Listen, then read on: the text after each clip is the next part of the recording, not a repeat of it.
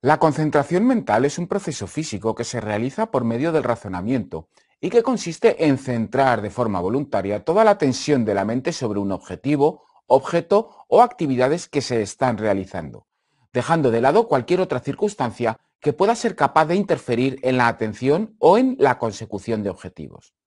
La concentración es absolutamente vital para todo tipo de actividad intelectual y en general sin concentración no podríamos realizar cualquiera de las cosas de nuestro día a día, pero sobre todo es vital para nuestros estudios o para realizar cualquier actividad laboral.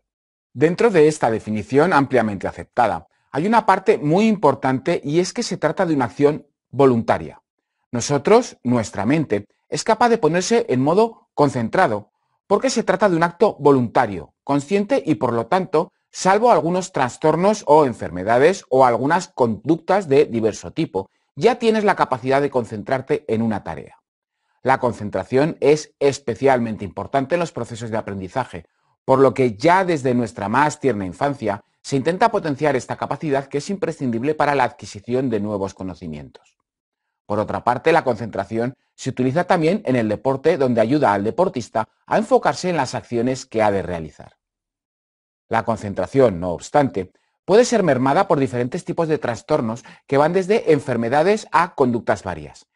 Tanto el trastorno por déficit de atención con hiperactividad, el consumo abusivo de drogas o medicamentos, como ciertos ansiolíticos que afectan a las funciones de concentración y memoria.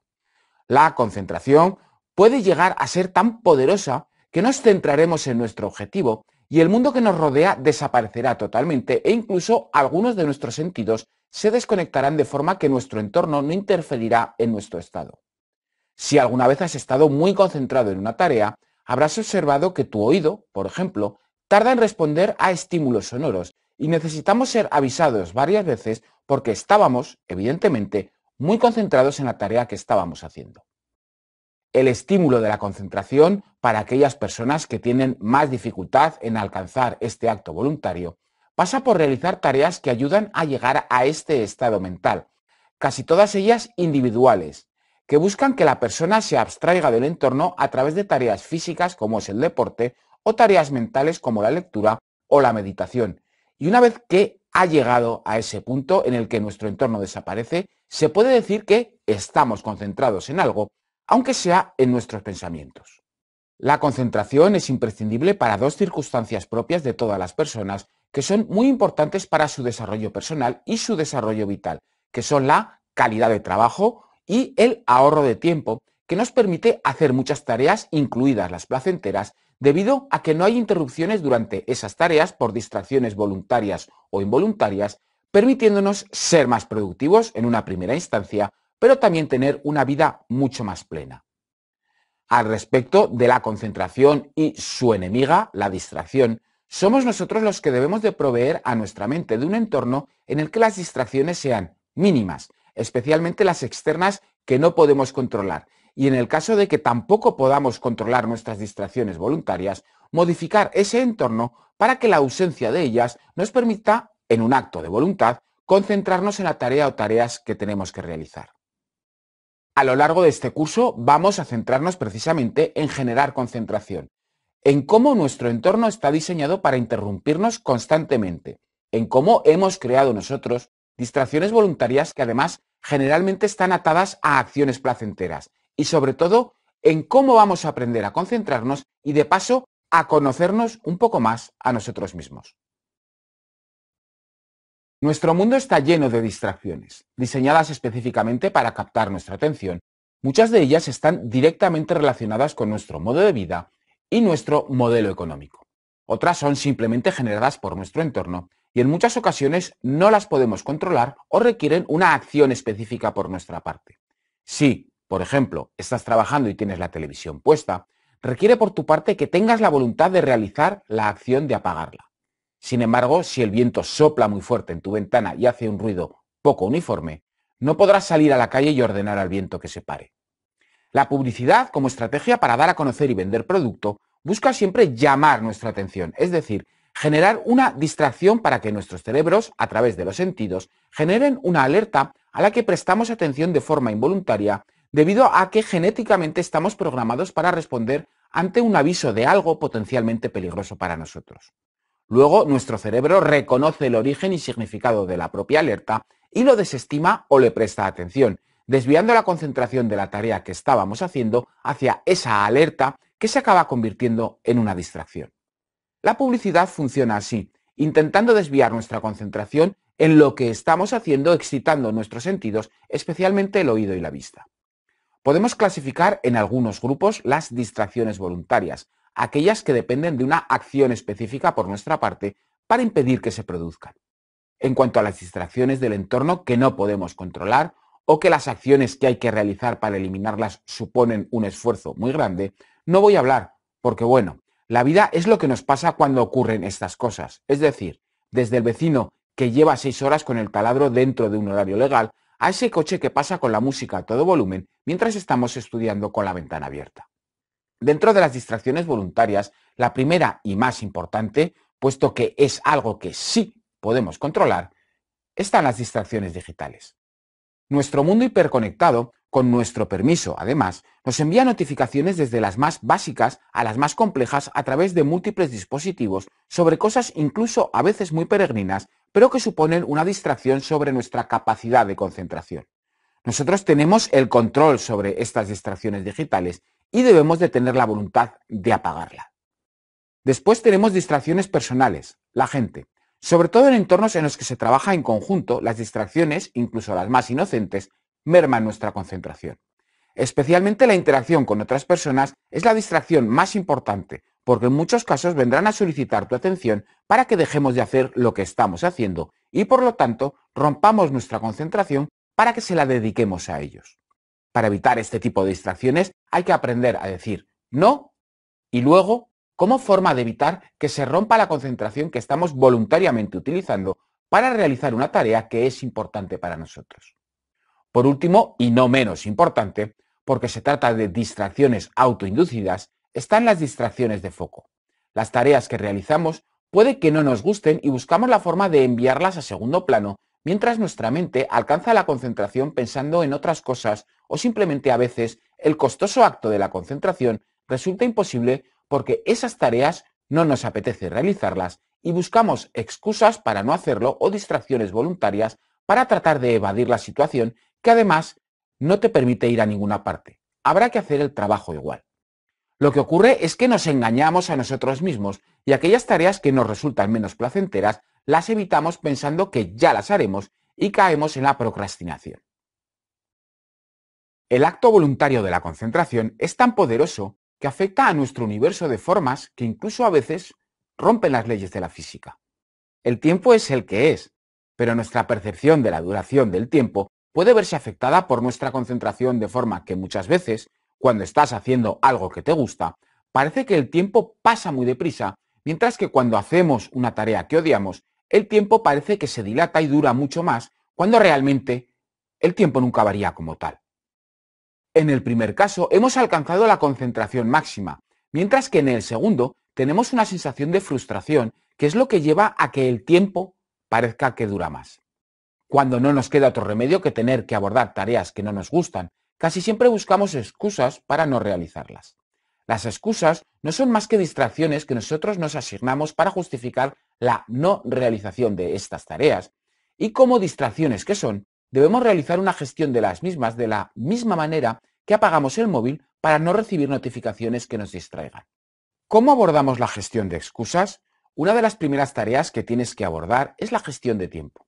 La concentración, al ser una acción voluntaria, requiere de un entorno reglado al respecto de la eliminación de distracciones y la ausencia de una estructura de nuestro tiempo hace difícil que nos podamos concentrar debido a que hemos dejado que nuestro entorno y las tareas que tenemos que realizar se apoderen de nuestra concentración, reclamando continuamente ser el foco de atención. Precisamente por esto, la gestión de tiempo es esencial a la hora de poder definir cuándo hay que realizar cada tarea, sabiendo cuánto tiempo le vamos a dedicar, da igual que sea de forma específica, es decir, tres horas, como natural, es decir, hasta que termine, para que podamos concentrarnos en las tareas que tenemos que realizar.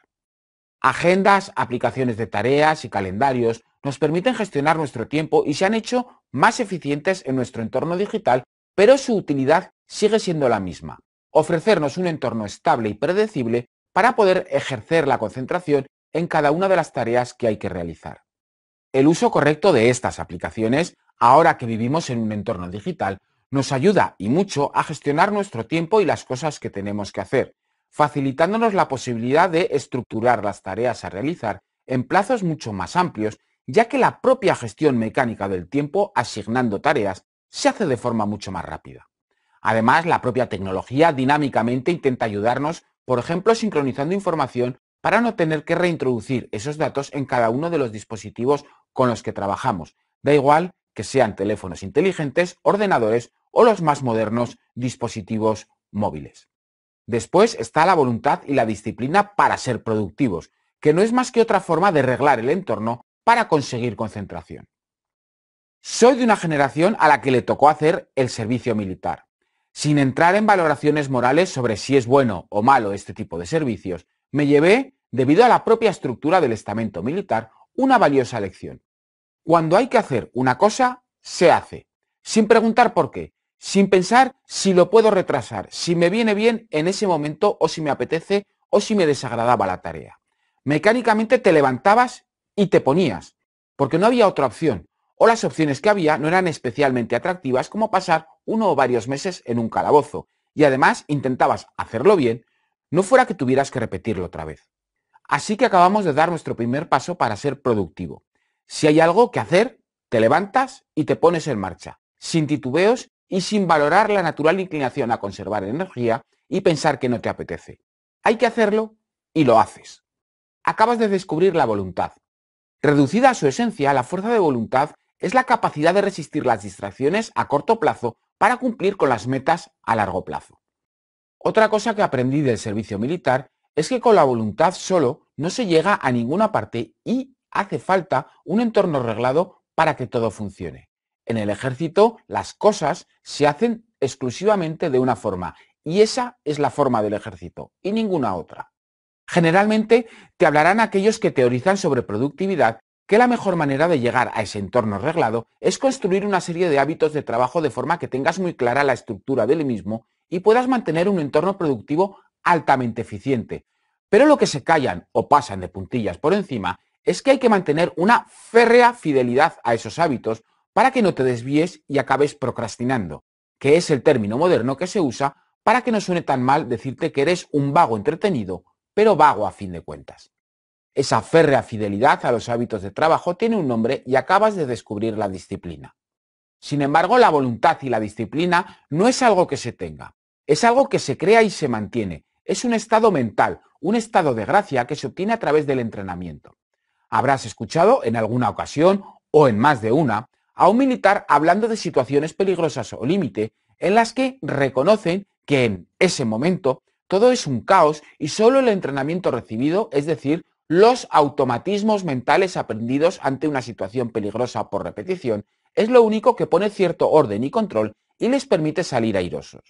Pues llevado a nuestra práctica, en un entorno que favorece la procrastinación o directamente la vagancia, el entrenamiento de la voluntad y disciplina será lo único que nos ponga en marcha y nos haga realmente productivos, ya que crean un entorno reglado para que la concentración florezca.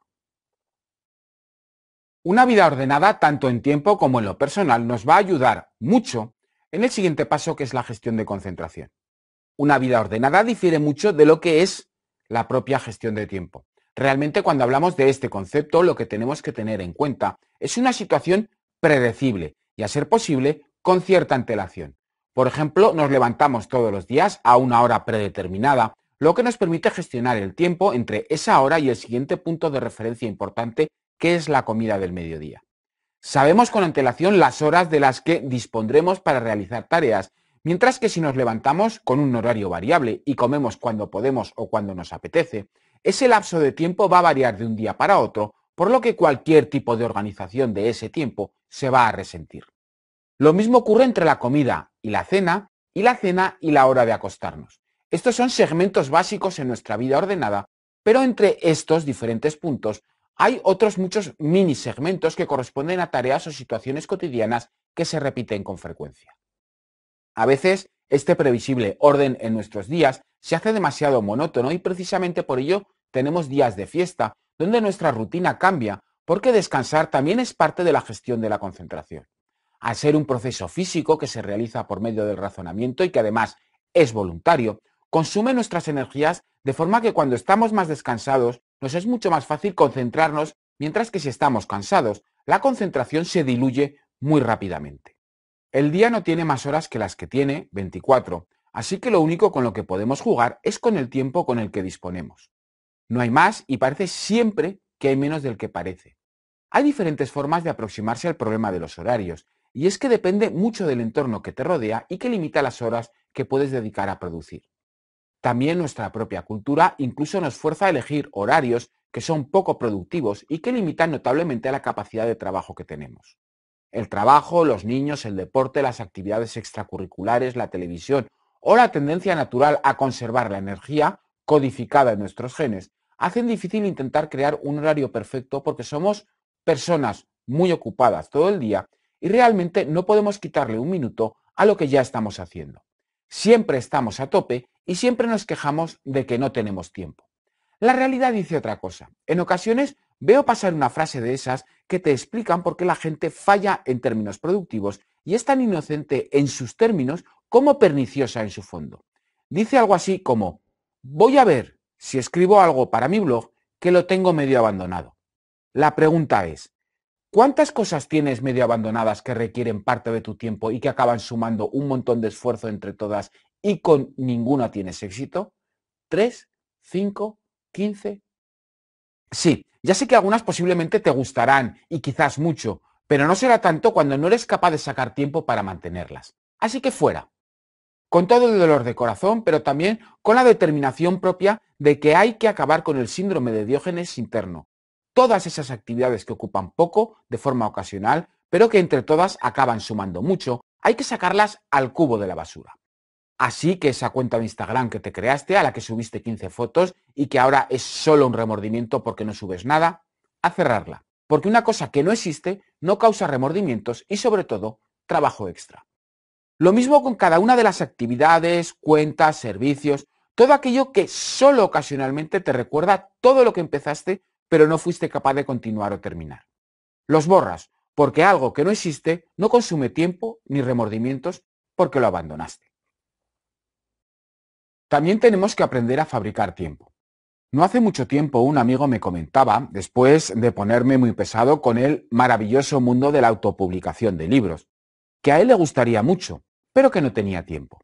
Como es un buen amigo, le pregunté cuál era su horario habitual, su día a día, y me empezó a contar, bueno, más o menos lo de siempre. Me levanto, desayuno, llevo a los niños a la ruta del colegio y luego cojo el coche y me voy al trabajo. ¿Y cuánto tardas en llegar al trabajo? Pues una hora todos los días aproximadamente. ¿Y no podrías ir en transporte público? Bueno, sí, me costaría media hora más de ida y otra media hora de vuelta y pierdo una hora todos los días. Ya, pero ahora no tienes tiempo y viajando en transporte público dispondrías de tres horas completas al día para hacer cosas. Y además, ¿para qué quieres llegar antes a casa si es un hecho que no tienes tiempo luego para hacer nada? Acabamos de fabricar tres horas diarias donde antes no las había. Es más, acabamos de fabricar 15 horas en una semana, 60 horas en un mes, 720 horas al año, un mes completo. ¿Quién dice que no se puede fabricar tiempo? El problema es que nos hemos acostumbrado a hacer las cosas de una manera que creemos que nos permite ahorrar tiempo, pero hemos ajustado el tiempo restante a hacer cosas que no nos dejan hacer lo que nos gustaría o deberíamos. Dos horas en el coche son dos horas perdidas tres horas en transporte público son tres horas ganadas para producir y además no hay mejor sitio. Estás tú solo y tu trabajo. Otra forma de fabricar tiempo es madrugar. Sí, eso que tanto nos cuesta porque la sociedad de consumo nos imprime a través de, sobre todo, la televisión, que es necesario llegar hasta el final del día. Así, los programas inteligentes empiezan muy tarde, las películas terminan a la una de la mañana, un miércoles, y cuando antes era impensable que te llamaran por teléfono a las 10 de la noche porque ya no eran horas, ahora suena el teléfono a las 12 porque nadie se acuesta tan pronto. Madrugar es muy sano. Entre otras ventajas, hace que llegues a una hora prudencial de la noche cansado de forma que es factible que duermas más, mejor y sobre todo del tirón. Pero sobre todo hace que dispongas de una serie de horas adicionales que correctamente solapadas con tu entorno te permiten crear tiempo donde no lo había. No, no se lo quitas al sueño, simplemente hay que acostarse antes. Y es más, tu salud ganará con ello. Otra forma de fabricar tiempo es hacer las cosas cuando nadie más las hace. En mi casa soy responsable de la compra y por lo tanto paso tiempo en el supermercado, una de las tareas del hogar que más tiempo consume. Bueno, excepto si bajas al supermercado cuando nadie lo hace. Así, si el sábado es el día de la compra y bajas a las 12 de la mañana, quieras o no, pasarás una hora mínimo por culpa de la cola del pollo, la de la carne, el pescado, la charcutería y el paso por caja. Pero si bajas justo cuando abren, a las 9, entonces reducirás el tiempo a la mitad e incluso menos. Pasa igual a las 4 de la tarde, otra hora perfecta para bajar, poder comprar tranquilo y ser atendido a la primera. Lo mismo ocurre para los centros comerciales, la farmacia, la verdulería, la planificación de las compras fuera de los horarios de máxima audiencia o en general cualquier acción que implique una cola de gente o la interacción con terceros fabrica un montón de tiempo. Lo mismo para cualquier tipo de gestión administrativa. Por último, reduce el consumo de información inútil. Sentarse delante de la televisión a ver qué echan, el exceso de redes sociales cada 10 segundos mirando el móvil, el navegar dando tumbos haciendo clic y allá sin rumbo fijo y otras situaciones similares gastan un montón de tiempo. En mi caso, por la noche, he entregado el poder del mando de la tele y tengo el iPad encima para poder leer, escribir textos o incluso para formarme con cursos o aprender a mejorar mis habilidades con algunas aplicaciones. Quiero que te sientes y sumes, ahora, usando estos simples trucos, cuánto tiempo puedes fabricar. Te sorprenderás que levantándote una hora antes, ganando entre media hora y una hora en los recados del hogar y un par de horas o incluso más en eliminar el consumo de información inútil, has fabricado entre 3 y 5 horas un sábado. Y como me encantan estas multiplicaciones, 4 horas de media un sábado son 16 horas en un mes, 8 días al año de tiempo fabricado. Y piensa que en tu vida hay un montón de tareas que haces, tuyas, que podrías reorganizar y estructurar convenientemente para incluso fabricar más tiempo. Así que no me digas que no tienes tiempo. Fabrícalo. La gestión de la concentración es una tarea difícil porque es una acción volitiva, es decir, queremos hacerla, pero a la vez, si es algo que no nos apetece, simplemente la rechazamos y buscamos una distracción o hacemos caso excesivo a las distracciones externas como justificación. Es lo que se suele expresar con el dicho popular, distraerse con el vuelo de una mosca. No estamos por lo que estamos, no nos apetece invocar nuestra concentración y no es que no seamos capaces de hacerlo, es que simplemente no queremos. Evidentemente, no nos podemos engañar a nosotros mismos. Si la tarea es fácil o lo que es más importante, es divertida, somos capaces de enfocar nuestra concentración casi inmediatamente y entonces todo es muy fácil. Pero precisamente no siempre ocurre así. Y cuando llega el momento hay que recurrir a las dos únicas cosas que pueden reconducir nuestra atención al trabajo que tenemos que realizar y a concentrarnos en la tarea. La voluntad y la disciplina. La primera nos obliga a querer hacer lo que hacemos sin buscar excusas, incluso enumerando por qué queremos hacerlo, sino simplemente hacer lo que nos toca hacer y la segunda es la disciplina, que nos obliga a seguir adelante incluso cuando las condiciones no son favorables para invocar la concentración, que es el momento en el que nuestro cerebro entra en modo analítico productivo para procesar información y crear información nueva. El siguiente paso es conseguir el foco de la concentración, entrar en ese estado de gracia a veces cuesta, sobre todo porque lo primero que tenemos que saber es qué hacer. Y si desconocemos eso, es precisamente cuando tropezamos. Solución, establece un punto de arranque muy corto con una tarea muy pequeña o con un plazo de finalización muy corto para poder centrarte durante unos minutos y a continuación engancha una tarea detrás de otra. Te será mucho más fácil que empezar con una tarea grande ya las cogerás una detrás de las otras cuando termines con esa primera tarea pequeña con la que vas a concentrarte. Apoyado en la voluntad y en la disciplina y usando el truco de la pequeña tarea inicial, es fácil arrancar un buen nivel de concentración inicial. Recuerda establecer pequeñas metas o dedica tiempo a esa organización de tareas previa y de tu tiempo, porque así no tendrás que pensar qué toca ahora, sino que lo consultarás en la lista y seguirás adelante, ya que la concentración tiene inercia y si la interrumpimos, cuesta mucho volverla a poner en marcha. Para gestionar nuestra concentración debemos gestionar primero nuestro tiempo y darle estructura. Saber cuál es tu objetivo, incluso cuando éste es parcial, ayuda mucho a la hora de empezar una tarea y utilizar nuestra concentración en la misma para terminarla. A este tiempo debemos darle una estructura, asignando las tareas en función de la variable cansancio, que tiende a infinito conforme avanza el día y que afecta notablemente a nuestra concentración. Podemos clasificar, burda, pero efectivamente, nuestras tareas en tres tipos. Las creativas o de tipo 1, que requieren de una perfecta conjunción de espíritu y precisión en el trabajo. Escribir un libro es una tarea creativa, por ejemplo. Diseñar un logo, escribir un informe, son también tareas creativas. Las administrativas o de tipo 2, que implican una transformación de la información basada en parámetros establecidos. Responder un correo electrónico que incluye una consulta, hacer gestiones electrónicas, organizar archivos o estructurar un proyecto son ejemplos de tareas administrativas. Las automáticas o de tipo 3, que solo requieren un control del resultado final, pero que no implican la toma de grandes decisiones en el proceso.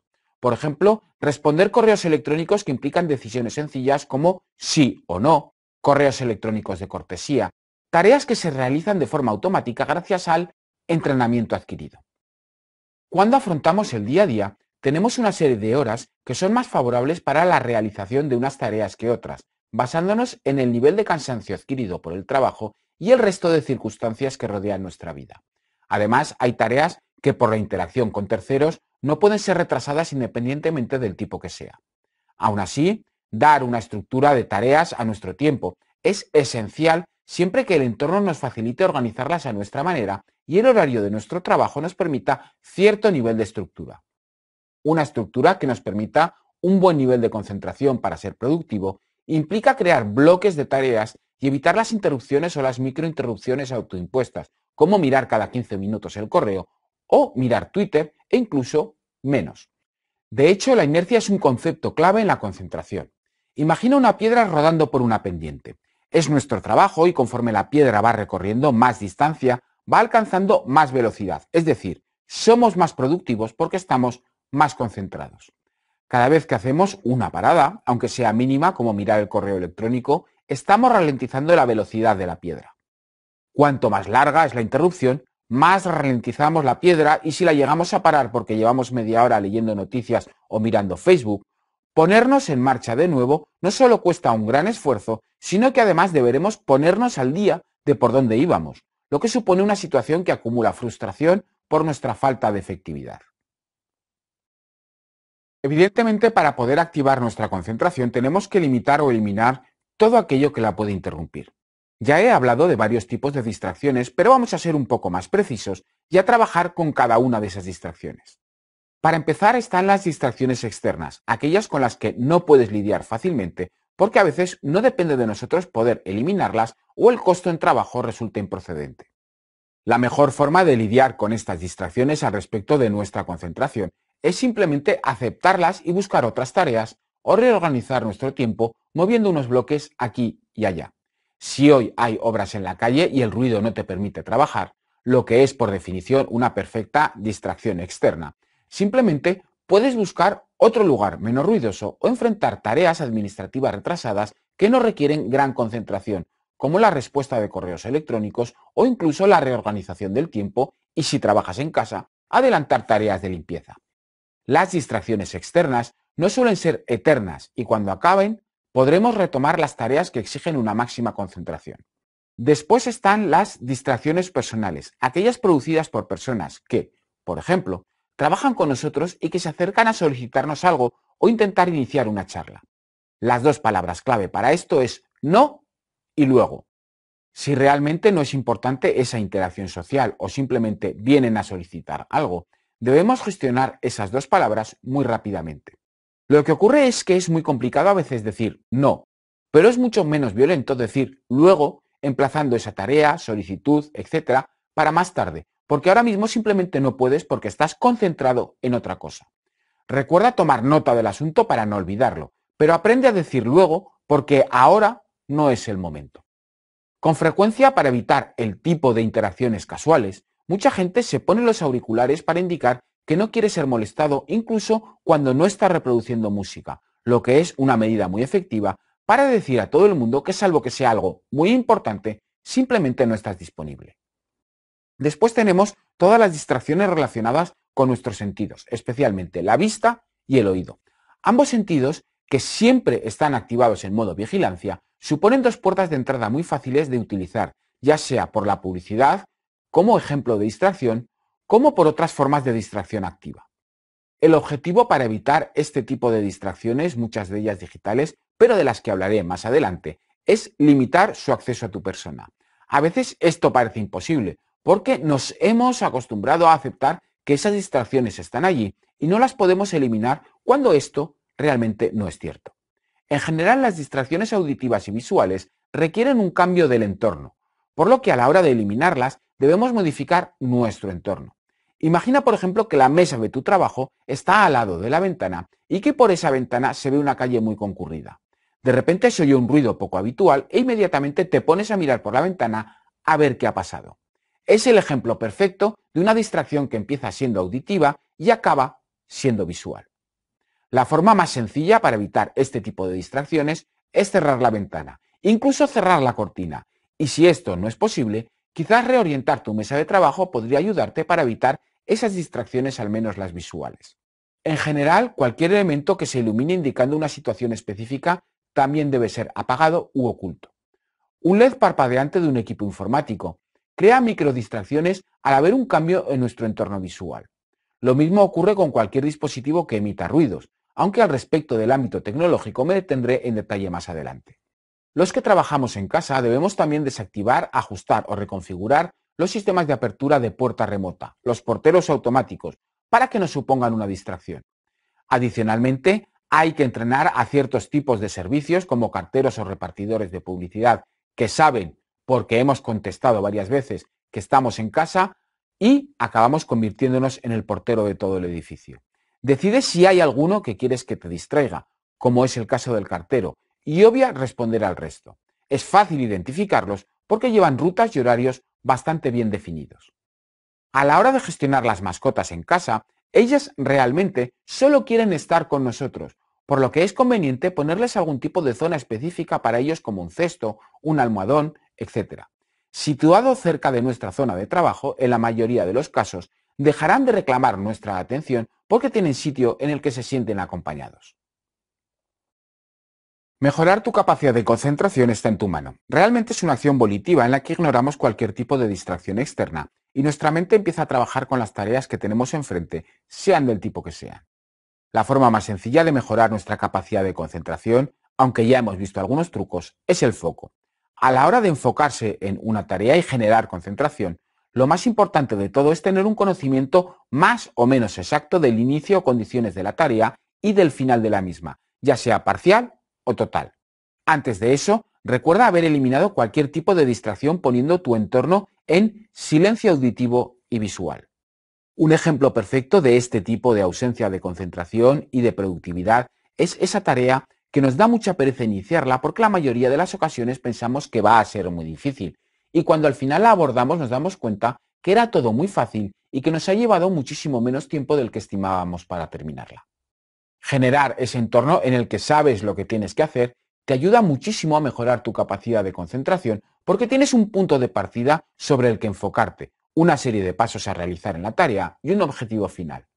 Con ese conocimiento te resultará muchísimo más fácil concentrarte, ponerte manos a la obra y la concentración, que requiere de un entrenamiento de uso, mejorará notablemente, sobre todo porque entrarás mucho más deprisa en ese estado y además de forma mucho más profunda.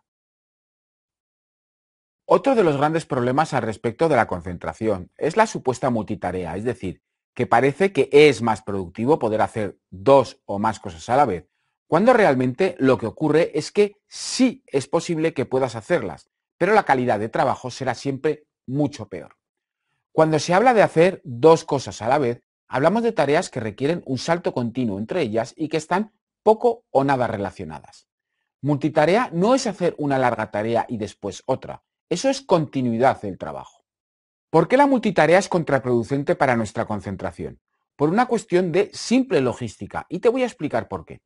Cuando estás realizando una multitarea, tienes en mente todo el entorno relativo a cada una de las tareas, como la fase en la que estás, el objetivo, los pasos que tienes que dar, etc. Al saltar a la otra tarea, debes vaciar de tu mente todos esos datos para ubicar allí los datos de la nueva tarea, asimilarlos y tomar la decisión de seguir por donde lo habías dejado en esa segunda tarea. Todo esto mina nuestra concentración, porque como ya he explicado, es un estado en el que tienes que entrar y se puede entrar rápido, pero al final lleva cierto tiempo.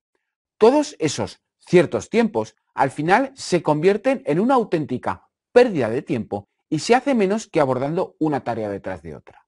Si a esto sumamos las distracciones, en lugar de a una única tarea, estamos afectando a dos, que puede que no estén terminadas en el tiempo prefijado. La multitarea es una muy mala idea si lo que queremos es mejorar nuestra concentración.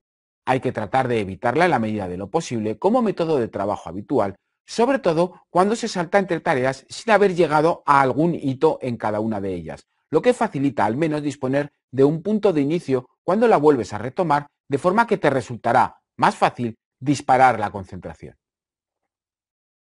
La gestión de notificaciones digitales, más allá del propio hecho de tener que enfrentarnos a un sistema operativo de ordenador o de dispositivo móvil y hacer unas decisiones más o menos justificadas en los diferentes paneles de control, es un tema importante porque requiere de una política de diferenciación de lo que realmente debería de poder interrumpirnos, es decir, crear una distracción, de lo que es totalmente accesorio. En la mayoría de los casos, no hacemos esta gestión de las notificaciones digitales y estamos continuamente siendo bombardeados por pequeños sonidos o la aparición de cuadros de diálogo en las pantallas que no son más que la forma más efectiva de las distracciones, las sonoras y las visuales. El concepto más importante que tienes que aprender al respecto de esta gestión se llama granularidad, que es la forma de expresar con qué notificaciones vamos a quedarnos y cuáles vamos a desestimar. Vamos a empezar por las notificaciones que deberíamos desestimar, y las primeras han de ser las de las aplicaciones de redes sociales por una razón muy sencilla, porque además de ser muy frecuentes, exigen nuestra interacción en la mayoría de los casos, con lo cual estaremos interrumpiendo con mucha frecuencia nuestra concentración. Después están las notificaciones periféricas, aquellas que nos llegan desde aplicaciones y que nos informan de cambios de estado, funcionamiento de servicios, acciones de las aplicaciones y otros sistemas de información. Aquí solo debes dejar las notificaciones de las aplicaciones con las que realmente trabajes.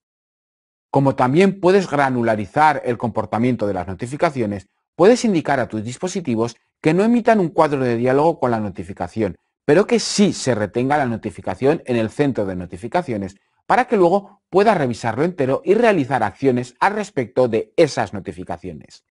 De hecho, esta tarea, revisar notificaciones y tomar acciones al respecto, es una muy buena forma de mantener el control sobre todo lo que tienes que hacer cuando se realiza en paradas entre tareas de mayor entidad. Después están las notificaciones de correo electrónico que deberías de tener activadas, aunque existe un problema. Generalmente mezclamos en el mismo cliente de correo electrónico el correo personal con el profesional y al tener las notificaciones activas, fuente de distracción e interrupciones, nos podemos encontrar con que estamos recibiendo más notificaciones de las que deberíamos, porque además de los posibles correos personales, empiezan a llegar las newsletters, correos comerciales o los boletines. La mejor forma de solucionar esto es separar el correo personal del correo profesional en dos clientes de correo electrónico diferentes. Así podemos establecer diferentes niveles de frecuencia de consulta de correo, tanto si es profesional como personal. Las reglas de correo electrónico también te permitirán crear filtros que apunten a un único buzón que será el seleccionado para recibir notificaciones, granularizando aún más, si cabe, la recepción de notificaciones a una serie de personas o comunicaciones muy específicas y que sí requieren nuestra atención inmediata, aunque sea para una decisión sobre la marcha. El sistema operativo de tu dispositivo móvil e incluso de tu ordenador pueden incluir una característica que se llama no molestar, que se suele utilizar con frecuencia para evitar las notificaciones a lo largo del periodo nocturno, pero que puede activarse manualmente para que en un momento determinado simplemente dejes de recibir cualquier notificación porque estás enfrentando una tarea para la que no quieres ninguna distracción aunque sea legítima. El siguiente paso es eliminar el coro, que es cuando tienes varios dispositivos bajo tu misma identificación y cuando llega una notificación la repite en cada uno de ellos. Por ejemplo, el ordenador, a continuación el teléfono y unos segundos después en el tablet, que supone una distracción bastante importante de sonidos y cuadros de diálogo. Deja un único dispositivo como principal y por defecto mantén en silencio el resto para recibir una única notificación no una catarata de ellas. A la hora de gestionar las notificaciones digitales, tienes que ser muy estricto al tomar las diferentes decisiones. Muchas de las notificaciones requieren una acción por tu parte, pero esta acción no tiene por qué ser inmediata. Puedes aplazarla para más tarde, trabajando con ella luego desde el centro de notificaciones y evitar que rompa tu concentración. Hay notificaciones que son relevantes, no lo podemos evitar y en mi caso son las de correo electrónico. Y por ello tenemos que buscar una forma de poder trabajar con un mínimo de distracciones de este tipo siempre de una forma efectiva. Todos los equipos, dispositivos móviles tienen diferentes opciones para personalizar el comportamiento de las notificaciones, pero la mayoría de las ocasiones lo que ocurre es que podemos modificar el sonido o un poco el aspecto de la notificación, pero poco más. Lo importante es disponer de algo más de información que te permita tomar una decisión rápida de dejar el correo electrónico para luego, recibir información adicional y tomar una decisión o directamente tomar una decisión. Mientras que en los dispositivos móviles configurar las notificaciones y la forma en la que se muestran es complicado porque muchos de sus elementos son inmutables. Trabajando con un ordenador es factible encontrar aplicaciones en forma de utilidad que mejoren el aspecto y sobre todo las funcionalidades de lo que debe ser una notificación cuando nosotros hemos decidido que ese tipo de notificaciones es importante. Porque no solo se trata de filtrar notificaciones, sino también de tener las mejores notificaciones posibles. Un buen software de notificaciones que te permita elegir entre dos o más acciones configurables directamente contra la notificación es ya una opción interesante. Pero si puedes elegir cómo se mostrará la información que ha generado la notificación, ya es una aplicación a tener en cuenta. Generalmente este tipo de aplicaciones se desarrollan como plugins de terceras aplicaciones, apoyándose en su estructura y añadiendo opciones adicionales a, por ejemplo, tu cliente de correo electrónico y las hay tanto para Mac como para Windows. La cuestión es encontrar la forma en la que nosotros podamos decidir qué es relevante a la hora de interactuar con una notificación y lo que no, y tener la posibilidad de poder tomar una acción inmediata para rápidamente volver con lo que estabas haciendo. Trabajar con otras personas puede ser un placer, pero también una complicación para nuestra concentración. Las nuevas tendencias de diseño a la hora de trabajar con amplios espacios abiertos en los que recibimos muchas distracciones, sobre todo auditivas, hacen en ocasiones difícil poder concentrarnos y recurrimos, por ejemplo, a los auriculares para poder aislarnos y a una gestión del no y luego que nos permita organizar mejor nuestro tiempo y disponer de momentos de calidad para ejercitar nuestra concentración para terminar tareas. Sin embargo, no siempre es posible. Si bien el uso del no y del luego acabarán creando una relación con tus compañeros diferente en la que posiblemente cierto tipo de interacciones accesorias desaparecerán, al final siempre hay interrupciones como las llamadas de teléfonos, las reuniones inesperadas o una cita que tenías configurada hace tiempo o que has de realizar inmediatamente. ¿Cómo afrontar estas situaciones? Tanto para las llamadas de teléfono como para las reuniones que tú puedas convocar, has de utilizar tu capacidad para ir a los puntos claves de la llamada y evitar conversación accesoria o innecesaria.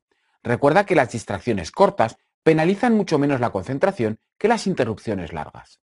Si es una reunión no programada, dedica los tres primeros minutos de la reunión a establecer una serie de puntos que servirán de referencia y procura no salirte del guion. Si eres tú el que tiene que atender a una reunión no programada, procura de la misma manera plegarte a los puntos de la reunión. Evidentemente, esto te hace ganar tiempo a limitar las interacciones si no son estrictamente necesarias, aunque deberás dedicar cierto tiempo también a una interacción social con tus compañeros y compañeras. Al ganar tiempo, tu concentración es más duradera y en ocasiones más profunda para terminar las tareas. Muchas personas piensan que el orden es una pérdida de tiempo o que, dentro de su desorden, saben dónde está todo. El desorden también es muy pernicioso para la concentración porque en el momento en el que necesitamos algo y tenemos que buscarlo, lo que debería ser un proceso natural dentro de la tarea se convierte en una tarea totalmente diferente llamada encontrar lo que necesitamos, por lo que habremos sustituido una tarea por otra y ya sabemos lo malo que es esto para la concentración. Mantener el orden, más allá de saber dónde están las cosas, es esencial y puedes abordar una serie de estrategias como por ejemplo utilizar números de proyecto para todos los archivos de un proyecto, mantener tus carpetas de trabajo ordenadas y limpias de archivos innecesarios, Procurar que el escritorio de tu ordenador no esté lleno de archivos, salvo que sean los relacionados con el proyecto y tu sesión de trabajo. El acercamiento a la ordenación es esencial porque limita el tiempo necesario para acceder a recursos y evitar romper nuestra concentración sobre la tarea que estamos realizando. La mayoría de los sistemas operativos modernos incluyen, más allá de poder cambiar evidentemente el nombre de los archivos, de sistemas de etiquetas o de comentarios que se utilizan como palabras clave a la hora de realizar búsquedas. Esto es importante porque con carpetas inteligentes disponibles, por ejemplo, en el Mac, es posible reunir una serie de archivos por muy dispersos que estén a lo largo del disco duro en carpetas que los van incorporando conforme los archivos van adquiriendo tal o cual cualidad, como por ejemplo un número de proyecto en el nombre, una etiqueta que indica que si está parado, en curso o terminado, y así otros tipos de filtros que te ayudan a tener a mano el archivo que buscas en el momento en el que lo necesitas. Al final la idea es saber dónde está todo, pero que todo esté a nuestro alcance y que sepamos dónde está, de forma que cuando necesitemos información sobre la tarea que estamos realizando, al buscarla aparezca inmediatamente o en un plazo de tiempo corto para no romper nuestra concentración. En cuanto al orden físico, al de tu escritorio, es tan importante como el digital, no solo sabiendo dónde están las cosas, sino manteniendo una mesa limpia y despejada de elementos que puedan ser distracciones. Muñequitos y otros elementos decorativos suelen ser siempre distracciones hasta que pasan a ser parte del paisaje y dejan de existir para nuestra vista cuando nos sentamos a trabajar. Ya hemos hablado de las distracciones externas como fuente de problemas para nuestra concentración. Da igual si es en el trabajo debido a condiciones que permiten un exceso de interacción humana, o si trabajas en casa y ocurren inesperadamente, o tienen un patrón específico que se reparte a lo largo del día. Incluso las mascotas pueden ser una gran distracción si no tomamos medidas con ellas. También hemos visto que hay distracciones externas que puedes controlar dentro de los límites razonables y otras que simplemente son imposibles. En general, cuando una distracción externa nos aborda y no podemos desestimarla por su contenido o sus propias cualidades, debemos ser capaces de ser flexibles para reorganizar el trabajo o acciones posteriores de forma rápida, porque hemos aprendido a lo largo del curso que un entorno arreglado nos facilita la creación y gestión de la concentración. Trabajo organizado, horarios, incluso una dieta equilibrada y las correspondientes horas de sueño son esenciales para la concentración. Para disponer de esa flexibilidad en la reorganización de nuestro trabajo, debemos de tener en cuenta esas distracciones y la posibilidad de que ocurran de forma que automáticamente o con una toma de decisiones muy breve pueda reorganizar el trabajo. Esto se realiza creando bloques de tareas más compactos, de forma que sea fácil moverlos a lo largo del día o llevarlos a otros días. En mi caso, por ejemplo, yo trabajo en casa y tengo una serie de distracciones fijas como son el cartero, los mensajeros y una serie de tareas del hogar a realizar cada día y otras puntuales. Para organizarme, todas las tareas del hogar están destinadas a partir de una hora específica, todas juntas, incluyendo la limpieza de la casa, casi siempre hacia el final de la mañana, en la que mi concentración ya no es tan buena para las distracciones no programadas que hacen que tenga que desviar tareas más tarde o incluso otros días, tengo una lista especial en Wunderlist que se llama pendiente, en la que añado esas tareas para que en el momento en el que tengo algo de tiempo ganado porque he terminado una tarea antes, acceder a la lista, consultar las tareas pendientes y hacer aquellas que pueden ser más urgentes y después repaso el centro de notificaciones. Las distracciones externas, que con frecuencia pensamos que nos bloquearán totalmente, de hecho y en la mayoría de los casos en las que las podemos prever, no son tan graves si podemos disponer de una estructura de trabajo y entorno un poco más flexible que nos ayudará a aprovechar ese tiempo para otras cosas. Hay una frase coloquial en el español de España que se pronuncia con mucha frecuencia cuando hemos tenido un día de trabajo satisfactorio y es me ha cundido mucho que explica de forma sucinta que hemos realizado muchas tareas de forma satisfactoria. Si echamos la vista atrás al respecto de ese día, te darás cuenta que, analizando las diferentes horas de trabajo, estabas en un estado de máxima productividad producida por la concentración. Además, ese día acompañó el entorno y no hubo muchas distracciones o supiste evitarlas para que no te interrumpieran. La concentración, como acto volitivo y como estado mental, requiere de ese entorno en el que no hay distracciones ni externas ni propias, creadas por nosotros mismos, pero también hemos visto que una buena organización de nuestros materiales de trabajo evita la rotura de nuestra concentración para entrar en un entorno multitarea que no nos beneficia.